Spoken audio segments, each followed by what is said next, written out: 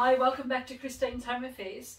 Today I have got a nice little project for you. It's this zippered cosmetic pouch. You can use it for anything really.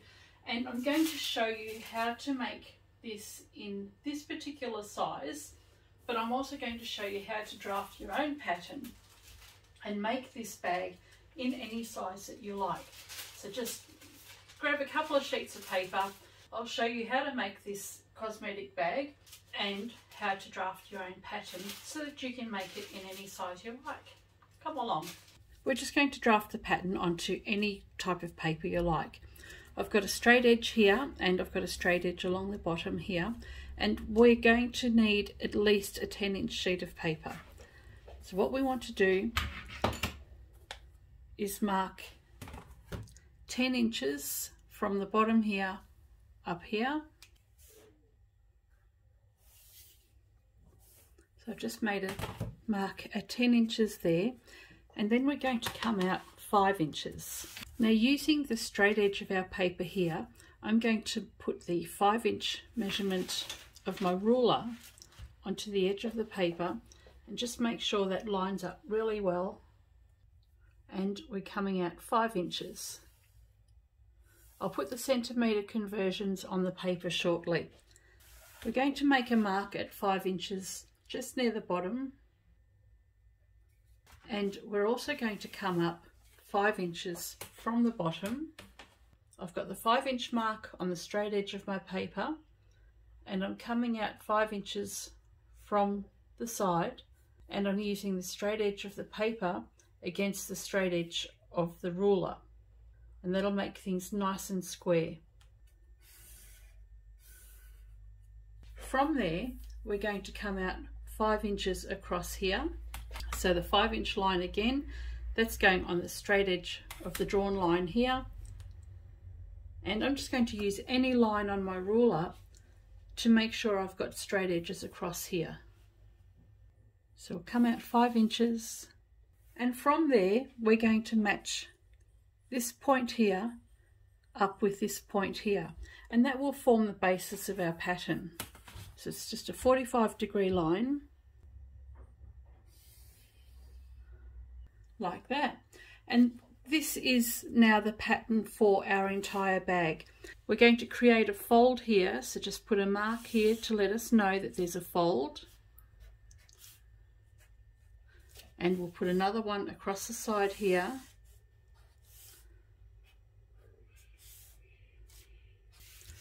And that just reminds us that there's a fold in the fabric. So we've got five inches, five inches there, and five inches here and we've got 10 inches here which is about 25 and a half centimeters and uh, about 12 and 3 quarters. Now you can actually adjust this pattern so you don't have to use 5 inches. If you wanted to make a 3 inch bag you would just have 3 inches across here, across here and here and you would have six inches here. So it's really just doubling or halving your figures. If you're working with centimetres, you can work on 30 centimetres across here and 15 centimetres in these sections here. So it's a very, very easy pattern to try and work out.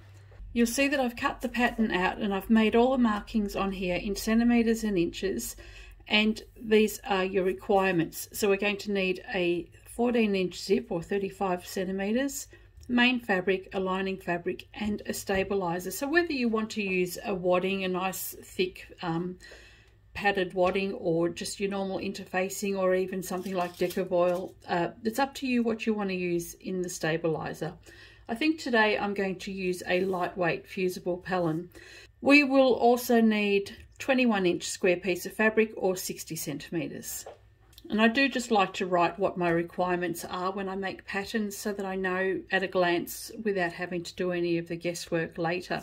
So if I make smaller ones of these with say four inches or eight inches and four inches, then I will adjust my measurements accordingly. I have my batting, my lining piece of fabric, and this is what I'm going to be using for my main fabric today. What we want is just to cut out a big square of fabric and fold it in half. So we have the fold across here and the raw edges at the top there. And then we're going to bring this fabric across again and line up the folded edges evenly. We've got our single fold along this edge, we've got our double fold along this edge, and we've got our pattern, and we're going to line our pattern up along the fold. So we've pinned our pattern in place and we can just go and cut this out now along the edges, the outside edges of our pattern. We don't need to cut this section here. So I'll go and do that now.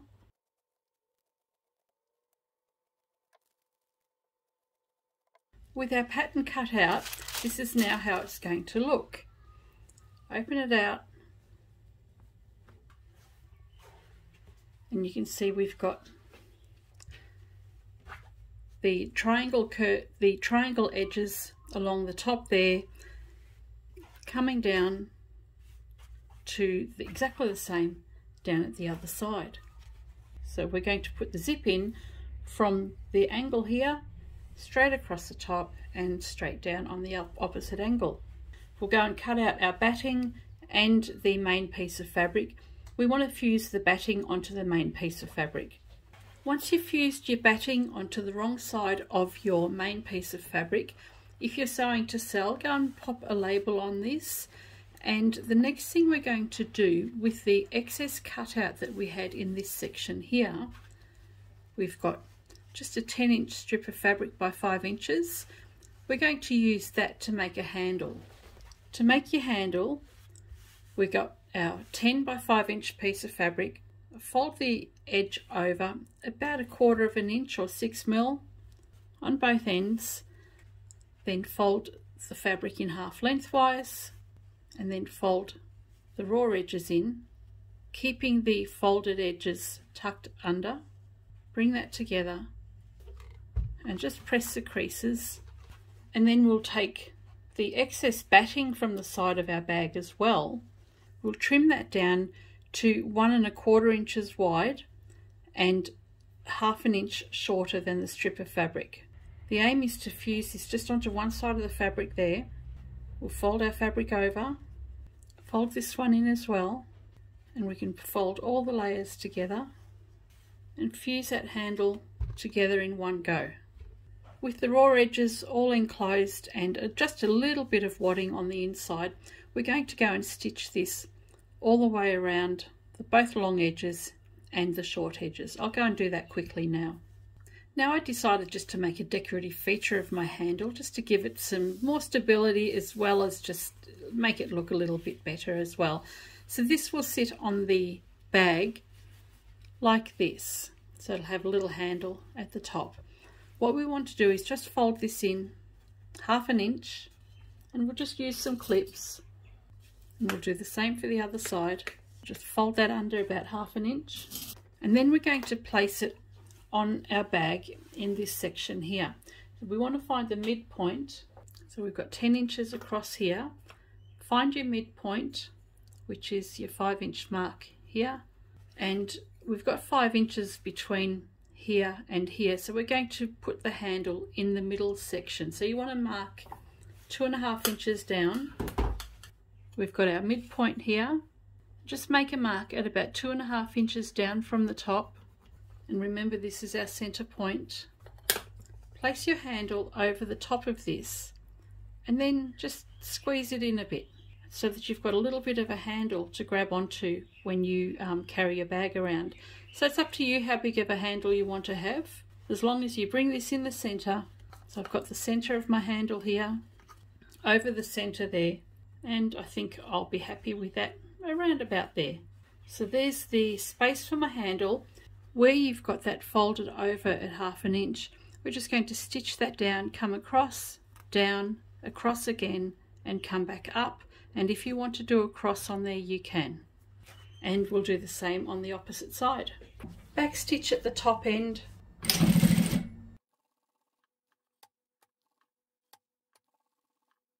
And if you like, you can do a diagonal cross stitch. So there's one side of the handle secured. You've just got a square around there or a rectangle around the um, folded edge of the handle with a cross in the centre. We'll do the same for the other side.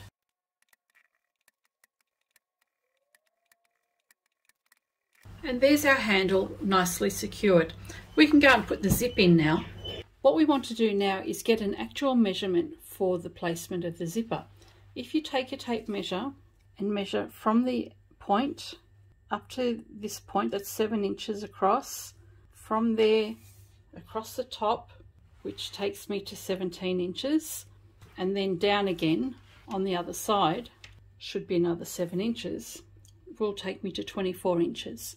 So the overall length of my opening on the top of my bag is going to be 24 inches. Now we want to put a zip in, but I like to put zipper tabs in on the ends so that we don't have too much bulk at the very end of our fabric. We've got 24 inch all the way across, smaller if you're making a different size bag. And we're going to take two inches off, so we want one inch less on either side of the zip. So we actually only want to have a 22 inch zip all the way around. Now I'm using a number five zip here, so I'm using a continuous zipper. It doesn't matter what kind of zip you use. If you want to use a normal regular dress zip or a number three zip, you go ahead and do that. If your zip has already got sliders on it and you don't want to take them off if you don't have the confidence, don't take them off. What we need with our scrap pieces of fabric left over from cutting out the triangle section is some fabric that is the same width as a zip. So if you're using a number three, you can cut your fabric a little bit narrower. If you're using a number five, cut your fabric the same width as a zip. From my leftover scrap pieces of fabric, I've just cut two pieces at one and a quarter inches wide, and these are about five inches long. Before we attach these to the end of the zip, we have to put our sliders on. To put your sliders on, I'm going to use two for this project today. Open it out just a little bit and take the curved end facing toward you and just pop it on over the edge. Pop the other side on as well. Put your fingers on either side and hold it down and just push. And that's popped your slider on. Then we'll go to the opposite end. Open it out again pop the curved end facing toward you over the edge.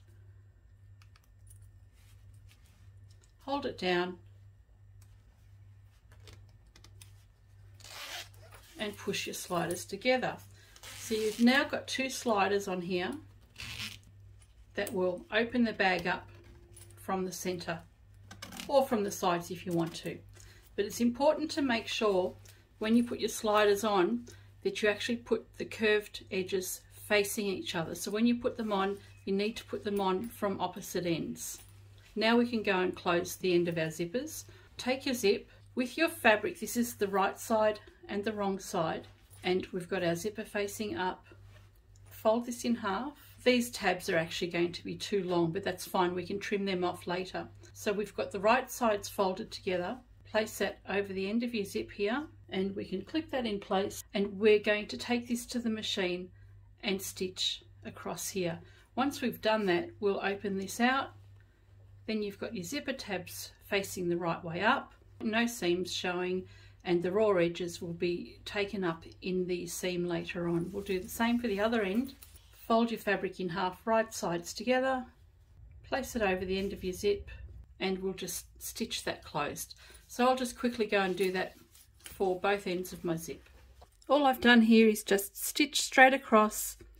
We can open that out and our zipper's completely enclosed on both sides so there's no rough bits sticking out and we've got the same at the other end. And as I've said, these are going to be a little bit big, but that's fine. We can trim them off later. Find the center point of your zip now. So just bring the edges together and matching it up from where you've stitched your tabs find the center and you can make a tiny little nick in the edge of your zip. Do the same for the other side. All I've done is taken out a small section of the zip so that I can see where the center is. And we'll place that now onto our fabric. Now we can fold our main piece of fabric together. Make sure your points match. Now match this up to your fabric, not your wadding, because the wadding sometimes can distort a little bit. Take a little nick out at the very top or just put a pin in the center there and you can see just there I've marked a small nick in the fabric. So we want the zipper teeth faced down and we're going to line up the notches along the top edge of our fabric and our zip. Pin or clip it in place all the way uh, along the top and down the side. Now where the fabric ends on the straight edge here, we're going to just make a little nick in the zipper here so that we can actually turn it. And repeat for the other side. And when we get to the end, just make sure that both sides of your zipper tab are actually facing out. So there's one side of our zip pinned to the main body of our fabric. We want to do the same thing with our lining. Take your lining piece and place right sides together. We're going to find the center first and just make a little notch just at the top there and we're going to place that over the zip. So we want right sides together and starting from the center we can work our way out. Once you've clipped the whole zipper area in place for with the lining and your main body we can go and stitch the zipper down. And if you need to just move the zipper teeth or the sliders out of the way as you're stitching. And when we've done that we're going to go and top stitch this. So this one will need to be top stitched on both sides of the zip. Starting at one corner we're going to work all the way across to the other side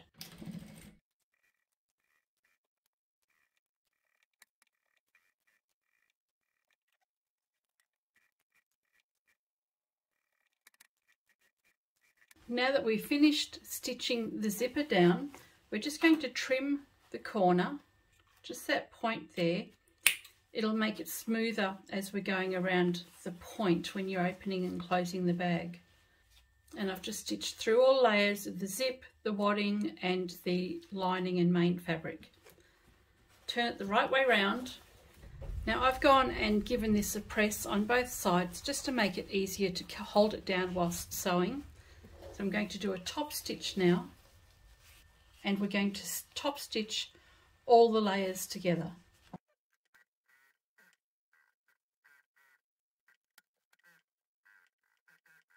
And now we can go and repeat this for the other side of the zip. For the other side we're going to do the same thing, find the centre and mark a notch. With our main fabric we're going to place that over the top of the zipper here and we're going to match up the notch that we made earlier. Once you've clipped that down all the way around, flip this over. We've got our lining faced up and take the notched side of your lining and bring that up to the other notches. And we can clip all three, la three layers into place. And again, when you get to this point here, you'll notch out the corner of the zip and so that you can actually turn it around. Once you've clipped everything in place here, you're going to have your bag looking like this, or at least that's how it's supposed to look. We can go and stitch all the way around. Once we've done the stitching all the way around, we'll turn it the right way around, give it a press, and then we can top stitch the other side. Make sure your points are lined up.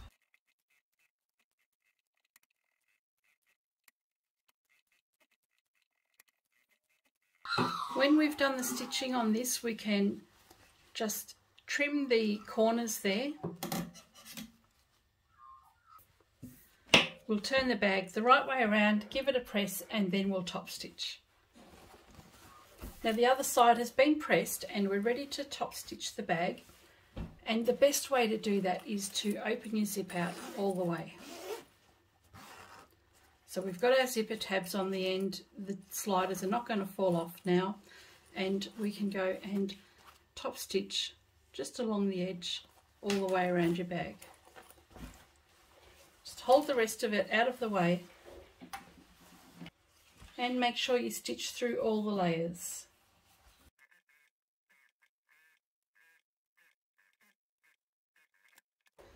And there we have the top stitching done. All that's left now is to put the bag together on the inside and see how it looks. Open out the zip just so that you've got the slider just a little bit away from the edge. So we can open this all the way out and that'll make it easier for us when we're turning the bag through later. So just bring the sliders a couple of inches away from the edge. Go into your bag and find where your wadding and your lining is and turn it inside out. We've got our zipper here and we just want to place a pin in the center of our zipper tab. Just place a pin in the center there and this is where we want our fabric, this side of the fabric to come up to.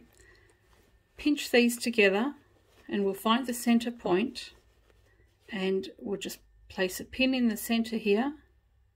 So if you open out the bag, this boxing here, that's the center there and we want that center to match up with this here and you can see where the bag points are just there. Line it up across there. As I said the zipper tabs are going to be a bit longer. And we've pinned that in place. And then we can go and pin this side in place up to that intersecting point. And we'll do the same for the other side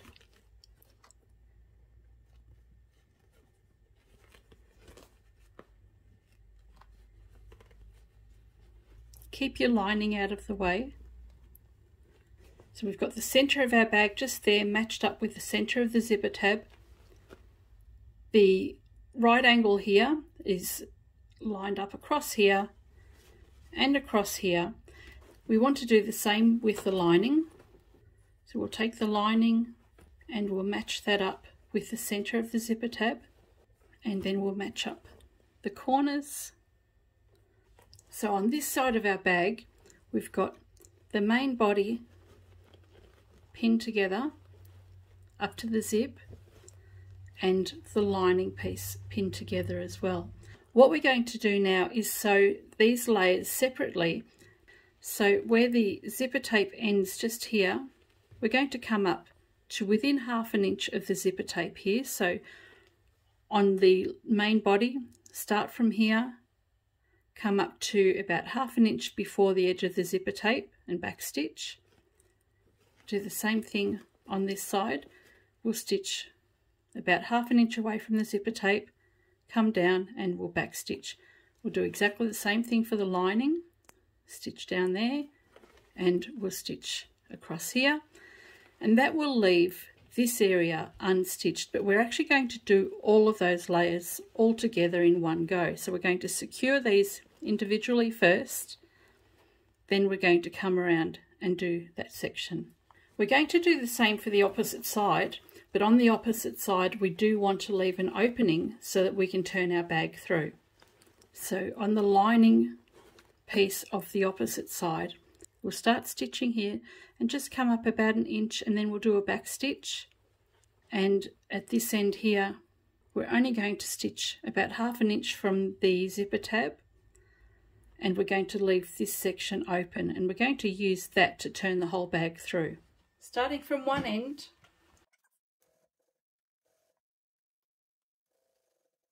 and I'm just stitching about half an inch from the uh, zipper tab and backstitch. Do the same for the other side.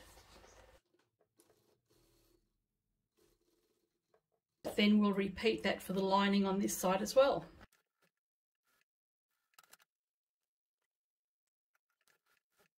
Once you've stitched the sides of your bag down on both sides here, this is one side of the bag, we want to stitch the points down so just reposition your pins or clips so that you've got all the layers together. Don't worry about this tab. And you can see where we've finished sewing just here and just here. We can start sewing. We can actually put all layers together. And we'll start stitching from here across to the point and then come down and stitch down here and that will enclose all those layers together. And by having a zipper tab on here instead of the zip, you're not actually going over any bulky zipper areas and you're not going to break your needles this way. So we can stitch all of those layers down in one go. Just check that you've got all the layers together. And I do like to reinforce the area where the point is. Manipulate your fabric so that you don't have any pleats that you're going to be sewing over. And make sure you've enclosed all sides. We can trim the zipper tab off now and just square that up. Now we can go and do the other side of the bag. Remember on the other side we want to leave an opening in the lining. So we're going to repeat the same process but we're going to leave a small opening in the lining here so that we can turn the bag through.